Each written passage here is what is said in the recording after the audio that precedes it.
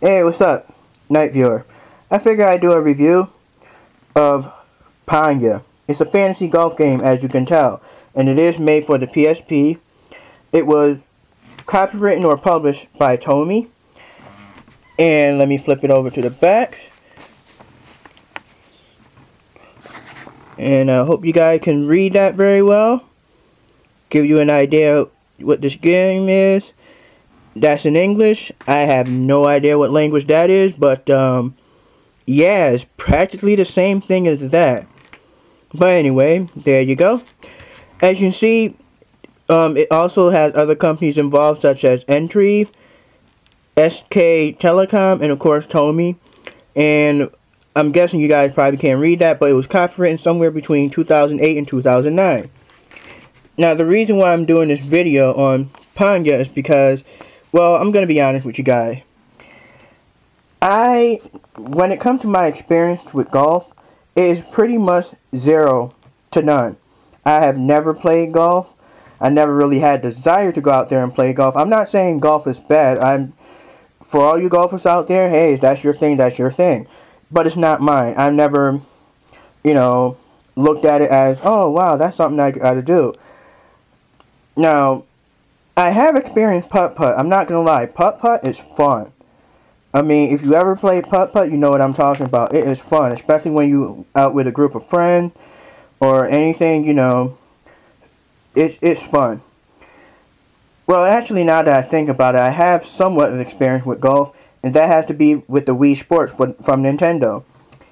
And I'm not gonna lie, Pangya and the Wii Sports sort of borrow the same gaming mechanics. I never played any of the Tiger Woods golf games, so I don't know how that works. But anyway, off about this game. Pangya is a fantasy golf game, as you can tell, and the one thing about Pangya that I found out, which was actually pretty surprising and cool to me, is that I believe it's in South Korea. Pangya is actually a very, very popular fantasy golf game. It actually started out as a PC game. And just to talk about how popular this game is, there's actually a convention. That's right, a Pangya convention. In this convention, they have people from all over the world or, you know, whomever that decides to join in to participate in venues, in cosplay, and tournaments. They even have Pangya tournaments. And I actually think that's kind of cool because normally when you go to a gaming convention, you know, for example, such as E3, you only see games that's coming out. You may test play a few games here and there, but that's about it in the convention over at Pangya, it's like there's more into it because they use your, you get to use your own screen name. You can cosplay, like I mentioned already. You can um, get points, money, all that stuff. And I think that's pretty cool, especially the fact that this started out as a PC game and it just overwhelmingly became popular. Again, it's a Korean game. I believe it's the South Korean. But anyway, as you can see from the cover, it is very vibrant and colorful. Yes, it has that anime style. Sorry about that. It is a very, very nicely anime style. As a matter of fact, when you actually play the game, it seemed very vibrant. That's all I can say. Even the dark themes where it's supposed to be ominous, dark, and evil, it has it, it has enough color tone where you can tell, okay, this area is not supposed to be good, it's friendly, it's kind of messed up it's kind of like um their version of where the bad people live, the evil guys, the villains, you know, where they get tortured and stuff. But it still seems vibrant and colorful where you're just like you can't help but admire it admire the scenery. Now, as you can already tell, it is for the PSP and not for the PS Vita, but my experience with this game overall is actually awesome. I like how everything looks and feel. And like I said, it kind of borrows the same game mechanics as the Wii U Sports. I mean, not the Wii U, the Nintendo Wii um, Sports game. And, you know, what I mean by borrowing the mechanics is that there's a bar on the bottom. and once you hit for your swing, you got to stop it at a certain spot, or you know go full bar. But when it goes bad, you got to hit it to stop it, so that way that's your power bar. And then of course you can um shift where you want to hit your ball and stuff like that. Another thing, each characters or golfers or you know in this game has different strength, power, stamina, and that's what I like about this game. It's very it makes you recognize that each character are completely different on their own. Like that I mean, you know how some games are is where it got plethora of characters but they kind of feel the same, only they look different and dress different. In this game, definitely each character on their own. Another thing, now, this may be fun for a lot of people.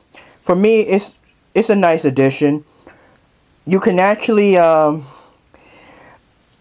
uh, how can I put it? You can change the look of your characters. You know, customize them, meaning clothes, hairstyle, look pants, everything. You can customize exactly how you want your character to look. And you also have a way to, you know, get certain clubs. Like some clubs will raise your attribute, lower your attribute, raise your strength, you know, so on and so forth.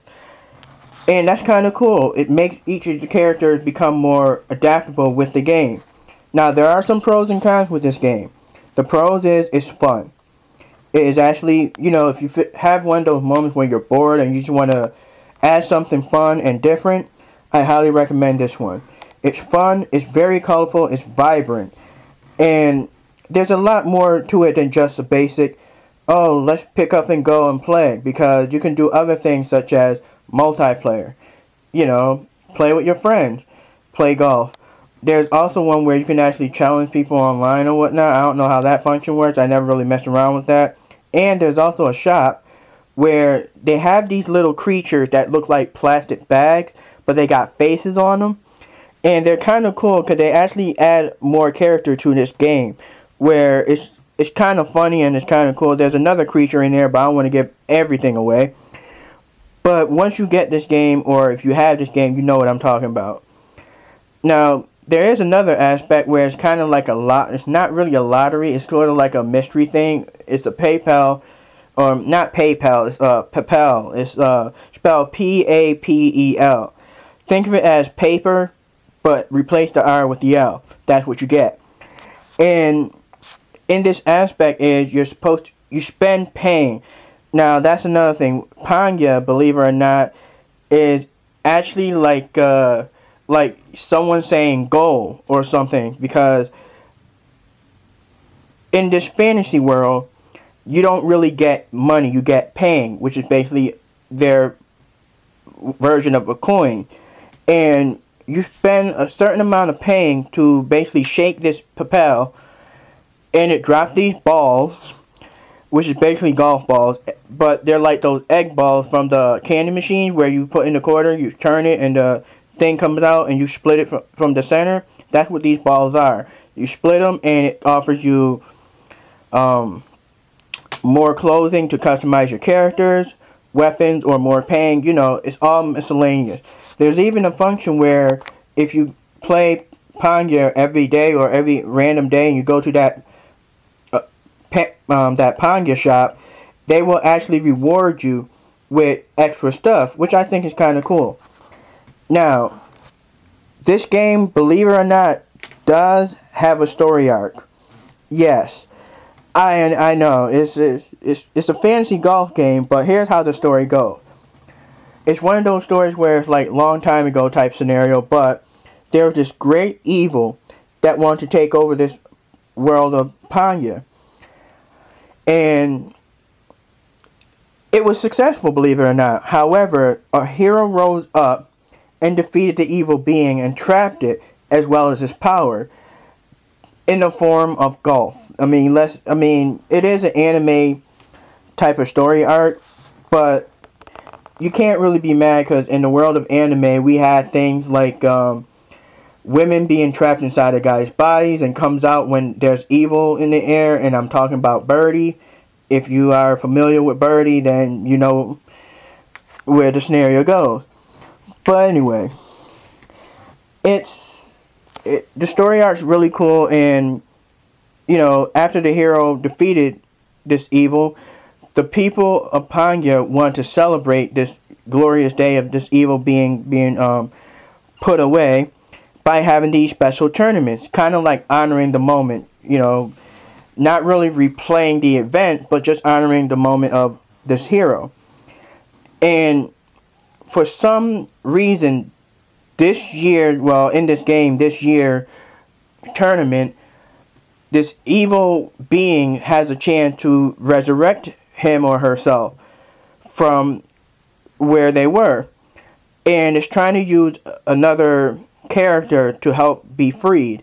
Now, you play as the son. Well, not really. You play as these other characters because in this story arc, you know how in some RPG games where you play only as one character and you just follow along as it is? Or some RPG games where like, um, or not just RPG, but some games where you have the ability to select one character and just play their story, get to the end, and then it'll open up so you can play another character, go to the end, whatever. In this Pangya game, you do play as all the characters all at once. In other words, this game story arc comes in chapters. There's an epilogue, then there's chapter 1, chapter 2, and, uh, I mean, not an epilogue, sorry, the prologue, chapter 1, chapter 2, and the epilogue, you know, all that stuff. But you play through them, and as you play through them, you play through all the characters. You unlock new characters, and you still gotta play that character. It's kind of an annoyance, but not really that bad. Now, because I would rather have just select a character and play, but at the same time, it's actually kind of cool because it gives you a chance to find out, okay, which character is your strength and which character is your crap you know, where you suck at. But, again, it's actually a really pretty fun game. And the story arc is pretty interesting. I mean, like I said, you do, there's the son of the hero, there's another character there that is related to another hero, and then there's so many other characters, which actually give this game more of a reason to play this game. Now, there are some cons in here. I mean, I already mentioned the pros, but here's a con when it comes to golf game, sometimes, especially in this Pangya game, sometimes you get the feeling that the game is trying to cheat. If you're doing really, really good, I mean, you know how there are some games where it has challenge and whatnot. There are some moments in this game. I mean, it feels like, like say for example, there's this one level, and you got so used to how that level is, and that's another thing. This game it has so many different levels, but at the same time, not really because it's all repetitive. Now, there's just one level that you may be so used to, you always have the same tactic, even though you're using different characters, and like I said, different strengths, different attributes. But that strategy, and that's another thing with this golf game, it's all about strategy. Like where you want to hit the ball, how much shots you want to get in, and how to um, pretty much get a lot of more paying instead of losing the match. Now, as I was saying, you play this level, even the wind played the effect in here, but you're so used to it that you pretty much know how to beat that level with your eyes closed. Sometimes the game itself will probably recognize that and then do like a little cheat where all of a sudden you're like, wait a minute, I've been doing this for the past two or three characters and now you're trying to jiff me? Like you know it likes to do that. It trying to give a challenge but at the same time it can be a little annoying. Um, but overall it is a fun game. And again it's the levels are somewhat repetitive but it's pretty much your basic golf game. It is a fantasy golf. It does have some rpg element and like i said you can play with your friend in this game. I do highly recommend it though if you're kind of like me where your whole collection consists of so many other things but you want a game where and I got this game as a gift like I said it threw me off a little bit but and I do highly thank the person that gave it to me. But if you want a game where it's completely different where it's not in your realm of um you know, like action, RPGs, or fighting, or anything like that, I highly recommend Pangya. Because it's very colorful, very vibrant, and the characters are pretty much awesome. Now, the soundtrack in this game is very relaxing. It's like you can really get into the tune. It's not like the type of song where if it plays over and over and over and over again, it become annoying. It's more like, okay, when you hear the song, you're like, okay, this kind of hip tune. Oh, okay, this is not bad. You know, it's like you don't mind hearing that song over as each level um, play. The voice acting, it's pretty much the only voice acting is there is when you make a perfect sh shot and it goes Pangya. Like there's this very animated, lively voice where you just hit the Pangya because, like I said, in this game, Pangya is kind of like um, you're watching soccer and you hear the commentator saying "goal," you know. So, yeah, definitely really cool. And like I said, you do receive paying to buy more customization. And yeah, now I'm starting to repeat myself. Now, as you can see, it is rated E for everyone. So that means doesn't matter what age group you are, if you're old or if you're not you're like a little baby or if you have kids, you want them to play it, or if you're an adult, a teenager, whatever. It's for everyone.